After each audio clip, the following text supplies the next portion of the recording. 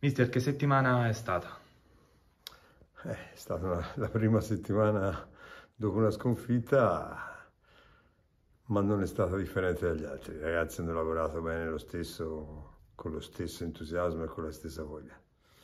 Per quanto riguarda l'elenco dei giocatori convocati disponibili, ci sono novità rispetto all'ultima settimana? No, mm, non credo almeno ad oggi dovrebbe essere lo stesso organico della settimana precedente. Sul fronte avversario l'Arezzo torna a Città di Castello, che tipo di avversario si aspetta? In campionato ha fermato eh, il Livorno, insomma un avversario che al momento vive un periodo di entusiasmo. Una squadra forte, una squadra forte, ha vinto il Livorno non a caso, con ottimi giocatori, è inutile stia qui a elencarli, è una squadra forte, è un banco di prova per noi molto importante.